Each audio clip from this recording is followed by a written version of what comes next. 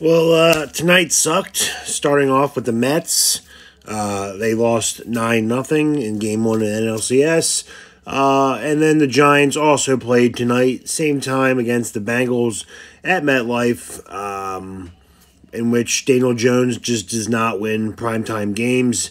And uh, in about a minute and 40 seconds or so, uh, he's about to lose another one. Um, Giants are currently losing to the Bengals 17 7 uh, in a game in which the Giants defense balled out pretty much for the entire game, held Joe Burrow to under 10, point, uh, under 10 points um, in the first three and a half quarters.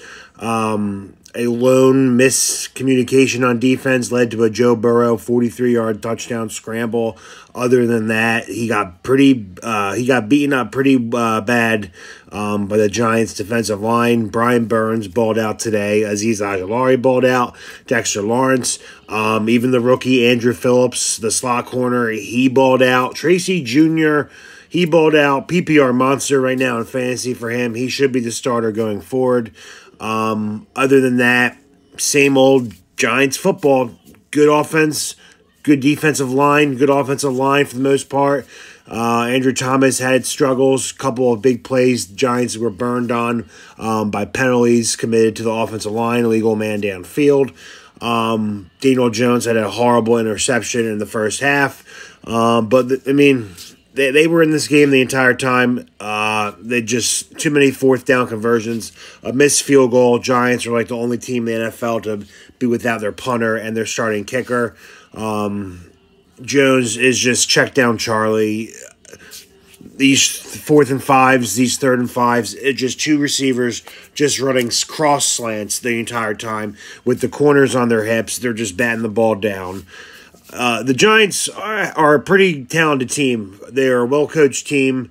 Offense line, they have a good offensive line. They have weapons. I know Malik Nabers uh, being without this game, two consecutive games in a row without Malik Nabers, certainly doesn't help. But they look good in Seattle. I don't know what happened tonight uh, against the 26th ranked defense for the Bengals. Um, Daniel Jones is just not not the guy. He uh, can never make the big plays. He has no clutch genes. Um, he doesn't look at any other receivers when he throws downfield. Everyone and their mother knows where he, the ball is going when Daniel Jones has the ball. Uh, he always looks at his first read. Pretty sure I'd never even see him audible. Now the Giants are trying to push the clock and get some points, but it's it's not even worth it. It's it's over. Uh, Giants will eventually look to two and four with a matchup against the Philadelphia Eagles next week and Saquon Barkley returning home, a game that I wanted to go to, but at this point with a two and four record. I don't really care to waste my money and be miserable watching this offense put up uh, zero points. Um, they are attempting a field goal right now to try and make it within one possession. Um, I guess the onside kick, but they got no timeouts left. Let's see the kick. And it's no good. so 17 7 will be the final. Uh, positive to take away from this game. Offensive line, for the most part, played pretty well. Uh, defense played excellent. Um, looks like we got two good steals in Tyrone Tracy, the running back out of Purdue that we took in the fifth round, and third round slot corner pick uh, Andrew Phillips from Kentucky.